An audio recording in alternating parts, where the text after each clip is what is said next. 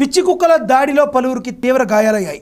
రాజాంపట్నం ఠాణా వీధిలో పిచ్చి కుక్క స్వైర వివాహం చేస్తూ ఇద్దరు చిన్నారులతో సహా ఐదుగురిపై దాడి చేసి గాయాలు గురిచేశాయి. చిన్నారులు ఆడుకునే సమయంలో ఒక్కసారిగా పిచ్చి కుక్క స్వైర విహారం చేస్తూ దాడి చేయడంతో స్థానికులు కర్రలతో కొట్టి కుక్కను తరిమేశారు. గాయాల పాలు అయిన వారిని రాజాం సామాజిక ప్రభుత్వ ఆసుపత్రికి తరలించి చికిత్సను అందజేశారు. గ్రామాలు పట్టణాలు అనే తేడా లేకుండా కుక్కలు గుంపులు గుంపులుగా తిరుగుతూ దొరికిన వాళ్ళను దొరికినట్టు దాడి చేస్తూ జనావాసాల్లో గుంపులు గుంపులుగా కుక్కలు తిరుగుతూ భయభ్రాంతులకు గురి చేస్తున్నాయని పురపాలక సంఘం అధికారులు స్పందించి కుక్కల నియంత్రణకు చర్యలు తీసుకోవాలని డిమాండ్ చేస్తున్నారు.